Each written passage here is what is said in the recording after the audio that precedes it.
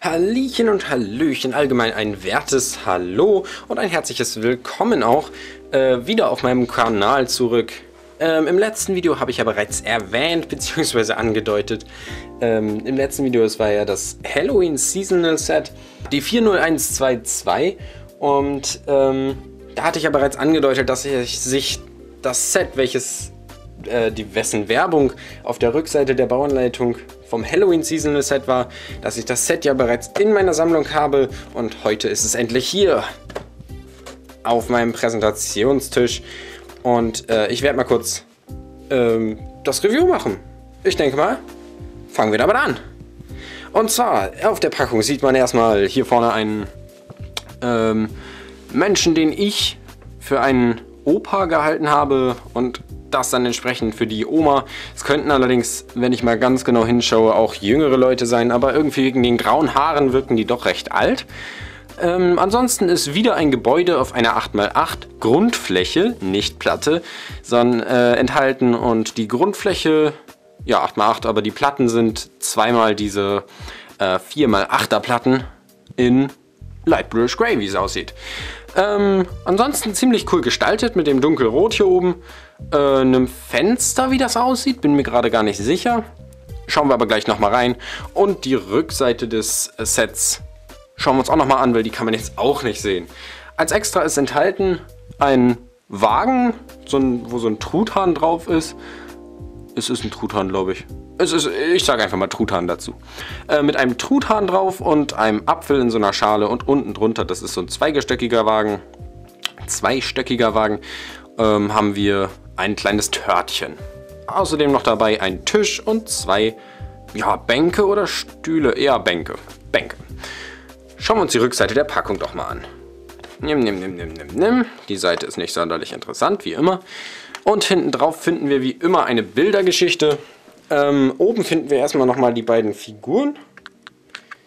Die Bildergeschichte habe ich wie immer nicht verstanden. Ich werde sie allerdings trotzdem mal in Reihenfolge zeigen. Vielleicht äh, erseht ihr ja einen Sinn daraus. Äh, hier finden wir erstmal die beiden Figuren, die enthalten sind nochmal. Er hier mit einem grünen Pullover und sie mit einer ja, roten Strickjacke oder irgendwie so Wolljacke. Äh, auf jeden Fall irgendwie angedeutet, dass es ziemlich mollig warm sein soll. Da sehen wir auch schon dies, äh, den Hinter... Ja, wie, wie nennt man das? Die Rückseite des Sets oder dieses Seasonal Sets halt. Ähm, und da sieht man, dass sich hier auch rote Ranken hochrangeln. Also das heißt, es sieht so aus, als ob es ähm, die Jahreszeit Herbst andeuten soll. Und er ist hier auch gerade am Kürbisse ausgraben, also irgendwie scheint da alles auf Herbst hinzudeuten. Er denkt hier oben schon an das Törtchen, welches ja auch im Set enthalten ist. Gehen wir doch mal runter und schauen uns hier die Linie an. Ich hoffe, man kann das erkennen. So, jetzt sieht man hier, wie sie drinnen steht an dem kleinen Wagen und das Törtchen oben drauf hat. Und beim nächsten Fotobild sieht man dann, wie er hinter dem Wagen steht. Vielleicht zeigt sie hier auch einfach auf dieses Törtchen und er guckt sich das dann ganz genau an. Ah, okay. Und beim nächsten Bild sieht man dann, ich denke mal, das soll das bedeuten, dass er halt äh, sagt, nee, wir müssen erstmal die Gartenarbeit fertig bekommen und alle Kürbisse ausgraben und dergleichen. Und dann am Ende beim dritten, nee, beim fünften Bild insgesamt, zumindest von der Bildergeschichte, sehen wir dann, wie die beiden glücklich und zufrieden am Tisch sitzen und Erntedankfest feiern. Deswegen, das bedeutet das genau, weil die ja Erntedankfest nur feiern können, wenn sie auch geerntet haben. So sieht's aus. Ja, auf der Packung finden wir sowohl auf der Rückseite, wie ich gerade sehe, als auch auf der Vorderseite so einen Kürbis unten rechts in der Ecke. Und ähm, ja, vorne rechts auch nochmal. Äh, sonst ansonsten nichts so spannendes. Sonst finden wir oben wieder wie immer bei allen Seasonal Sets nur das Lego-Zeichen, keine weitere Bezeichnung und dann die Andeutung für eine gelbe Lego-Platte mit einigen kleinen runden Verbuntungen. Und ja, wenden wir uns doch mal dem Set zu und öffnen die Packung. Die Packung hat wie alle vorherigen Seasonal Sets von 2015 wieder nur eine Aufreißlasche, wie man hier sieht. Und ähm, ja, nicht wie wieder so eine, so eine Cutter-Dingsbums, wie ich auch im letzten Video schon erwähnte, äh, dass man das mit der Schere öffnen muss. Ähm, allgemein würde ich einfach mal sagen, öffnen wir dieses Set und schauen mal, was sich da drin befindet.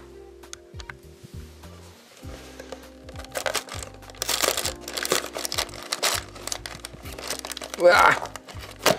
Geht gar nicht auf. So, nun haben wir es.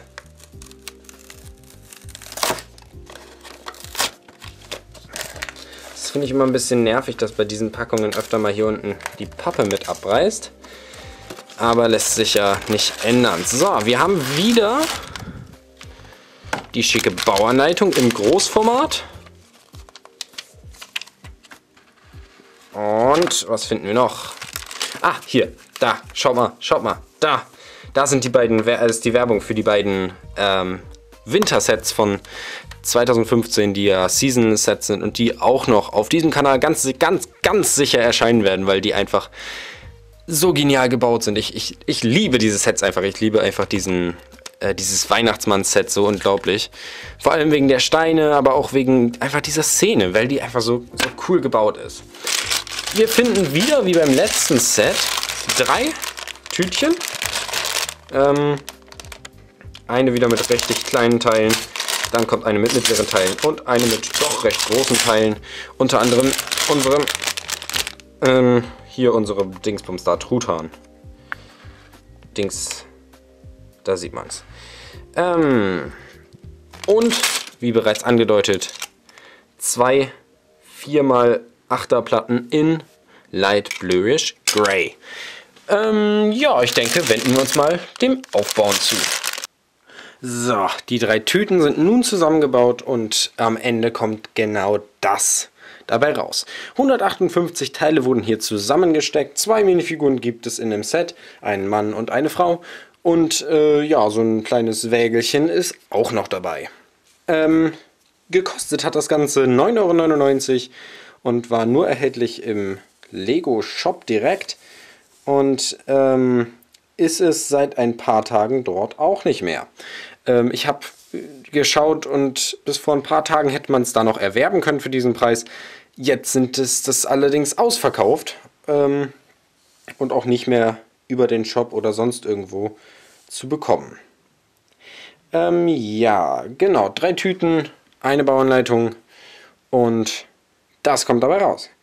Ich denke mal, das Set spricht in diesem Fall sogar ziemlich für sich. Ähm, aber wenden wir uns doch trotzdem noch einmal den Figuren zu. Als erste Figur mit dabei haben wir die männliche Figur, ähm, die ich ganz grotesk mal als Opa eingestuft habe. Ähm, aber es kann natürlich auch einfach eine Person sein, die schon doch graue Haare, aber äh, hat und die einfach ein bisschen älter aussieht. Ich weiß nicht, ich kann mir nicht helfen, aber die sieht sowohl alt als auch doch recht jung aus. Ähm, naja, auf jeden Fall ähm, eine normale dunkel, äh, dunkelgraue Hose, also Dark Bluish Gray, soweit ich das erkennen kann. Ein grüner Pullover, den ich, soweit ich weiß, schon mal in einem oder zwei City-Sets gesehen habe. Und das Gesicht kommt mir auch ziemlich bekannt vor. Auch aus City-Sets, soweit ich das gesehen kann. Ähm, die Haare schon mal bekommen in, in Grau sogar bekommen im neuen Star Wars Millennium Falcon von Episode 7 bei ähm, Han Solo, bei dem alten Han Solo, soweit ich das. Doch, ja. Ähm, die Haare sind die, sind die gleichen. In der gleichen Farbe auch, nehme ich an. Ich nehme nicht an, dass er Dark Bluish Gray Haare hat, der Han Solo. Deswegen nehme ich an, es sind die gleichen Haare. Ansonsten kein doppelbedrucktes Gesicht, was ich aber auch nicht erwartet habe, weil das Set dient eigentlich hauptsächlich zum Ausstellen. Zum Spielen ähm, sind die Season-Sets ja meistens nicht so gedacht, aber die Rückenbedruckung gibt es trotzdem. Äh, na gut, die hat auch nicht viel mit Spielen zu tun. Äh, warum genau steht die Figur so nach hinten gebeugt? Ich habe keine Ahnung. Aber okay, wenden wir uns mal der zweiten Figur zu. Yay! Die zweite Figur ist die Frau oder Oma, ähm, was bei mir vor allem der Dutt hinten ausmacht, den die Frisur besitzt, hier äh, in Dark Bluish Gray, soweit ich das sehe. Müsste Dark Bluish Grey sein, aber die ist so, so leuchtend irgendwie, diese, ähm, diese Frisur. Die, die gibt einfach irgendwie das Licht wieder hier. Die spiegelt so unglaublich, wie man das sieht. Ähm, das hatte ich bisher auch noch nie. Naja, das Gesicht ist mir komplett unbekannt. Die Frisur übrigens auch. Ähm, die ist irgendwie so eine... Kommt mir vor wie so eine Asia-Frisur, japanische Frisur. Ebenso wie auch das Gesicht, das dazu passen könnte. Ähm, die Frisur könnte vielleicht im neuen Temple of Air Jutsu dabei sein. Weil die einfach so asiatisch aussieht. Ich weiß nicht. Äh, irgendwie sieht die so aus. Ähm, ansonsten normale rote, unbedruckte Beine. Und der Körper ist auch interessant. Ich habe ja vorhin schon gesagt, irgendwie so Wollpullover-artig oder Fließartig so. Ähm, ja, irgendwie irgendwie lustig. Auf jeden Fall habe ich den bisher noch nie gesehen. Und auch Dark Red Arme, also Arme in dunkelrot, auch schön passend. Und hinten noch zugeschnürt, ähm, damit man das Bäuchlein nicht sieht. Ähm, und ja, die Taille ist wieder angedeutet, wie auch bei den anderen weiblichen Figuren. Und ja, ich denke, das war's von mir zu dieser Figur. Ich denke, man kann gut erkennen, was das denn für eine Figur ist. Und ich denke, wenden wir uns doch einmal dem Hauptteil zu. Der Hauptteil oder äh, grob gesagt das Gebäude ähm, äh, wirkt hier einfach sehr detailreich, muss ich mal anmerken. Und zwar das, was ich vorhin für ein Fenster gehalten habe, fälschlicherweise ist kein Fenster. Darauf werden wir gleich nochmal zurückkommen, aber es ist trotzdem schön gestaltet. Ähm, einmal eine kurze Rundumdrehung. Man sieht, sehr schöne Steine wurden verwendet. Dunkelrot, die Farbe hauptsächlich dunkelrot gehalten. Wir haben das Set ja eben schon mal gesehen in der Rundumdrehung. Trotzdem zeige ich es nochmal. Hier die roten Blätter, die ich angedeutet habe, die irgendwie so auf Herbst hindeuten. Ein Halter für Gartengeräte und dergleichen. Und ja, fangen wir doch einfach mal vorne an. Der Tisch den ich richtig cool finde, weil er einfach nur wegen dieser Zipfel hier unten an der Tischdecke. Ich zoome mal eben ran. Und ähm, ja, das, was wir hier sehen, eine dunkelrote Tischdecke mit weißen Zipfeln am Ende. Wie genial ist das denn? Das ist doch, ist doch richtig cool. Also ich, ich mag das total gerne. Die Zipfel befinden sich auf beiden Seiten und ähm, obendrauf ist halt einfach noch eine Schicht an dunkelroten Legosteinen. Obendrauf befindet sich ein Kürbis, den wir auch, äh, wer vielleicht mein letztes Video schon mal äh, angeschaut hat, äh, oder einfach das Set vom Halloween äh, Season Set von 2015 besitzt. Da haben wir auch diese Kürbisse bei gehabt, unbedruckte orangene Köpfe und darauf halt dieses blümchenartige Gewächs.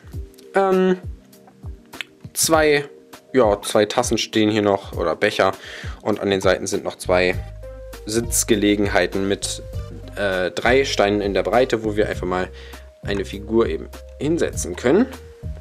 Und es passt halt auf jede Bank eine Figur. Figur vielleicht, wenn man ein bisschen äh, quetscht, auch zwei, aber ich glaube, es ist eher, eher schwer. Ähm, ja, der Schrank dahinter, den wir hier sehen, den finde ich einfach nur lustig wegen der angedeuteten Schubladen. Und es ist ein Schrank, wie ich schon erwähnte. Es ist kein Fenster. Es ist ein Weinlager, das leider, leider, leider ziemlich schwer ist aufzubekommen. Ja, nur mit sehr viel Gewalt, äh, äh Fein, Feinfühligkeit natürlich. Ähm, wir sehen, wenn wir es mal irgendwie ins Licht kriegen, da hinten ist eine Weinflasche drin, so eine normale, typische grüne Weinflasche. Das war äh, auf der Packung oder auf der Bauanleitung nicht zu erkennen. Und zwar aus dem Grund, dass, wenn wir das mal hier betrachten, ähm, dass die Weinflasche auf dem Tisch stand und somit das Fenster doch recht äh, als Fenster aussah. Aber letztendlich ist es hier doch ein so, so, so ein Wein, äh, Weinkellerartiges ja, Lager äh, für ja, Weinflaschen halt erinnert mich sehr an das äh, Parisian Restaurant, äh, weil da ja auch so ein Weinregal ist. Das ist allerdings in äh, braun gehalten, was ich auch ziemlich cool finde. Aber hier in dunkelrot und dann noch mit diesen Tarn- und Sandfarben dazu. Ah, das passt echt gut. Wir haben hier ähm, noch eine Pflanze, die man auf der Bauanleitung gar nicht bemerken konnte. Oder auf der Verpackung. Äh, die habe ich auch nicht gesehen erst. Und ähm, ja, in so einem hellgrünen Blumentopf und so, ja, Pflanze halt. Und oben befinden sich noch zwei Flaschen oder irgendwelche, zumindest irgendwelche Gefäße, wo ich denke mal, dass das äh, Gewürze sind, weil die äh, befindet sich halt in der Küche. Ich nehme an, dass es so Salz und Pfeffer sein sollen oder Getränke, die halt dann hier eingefüllt werden, äh, wenn man mal zufällig keinen Wein trinkt. Zusätzlich befindet, hier nicht, äh, befindet sich hier noch ein Knopf, den ich allerdings nicht identifizieren kann, weil es irgendwie keinen Sinn ergibt. Dieser Knopf ist irgendwie nirgendwo zu da. Und was das sein soll, hm, keine Ahnung. Die Rückseite. Ähm, ja, auf der Rückseite befindet sich ebenfalls ein Regal. Das ist irgendwie lustig. Ähm, da nehme ich allerdings an, dass es sich hier um Dünger oder Insektenvernichtungsmittel handelt, weil es ja irgendwie im Garten ist. Äh, aber ich denke eher, es handelt sich um Dünger, weil die ja Kürbisse anpflanzen, wie man auf der Rückseite der Verpackung gesehen hat. Und noch ein Halter für Gartengeräte, wo ja auch eine Forke und eine Schaufel dabei sind und rechts die angedeuteten Blätter. Des Weiteren werden hier noch ganz, ganz, ganz, ganz coole Steine verwendet, die ich richtig gerne mag. Ähm, leider ist das Set schon ausverkauft, werde ich mir die Steine wohl irgendwie nochmal bestellen müssen. Ähm, ja, ich denke mal, das war's zu diesem Teil. Die Wand hinten ist weiß gehalten und die Wand vorne dunkelrot.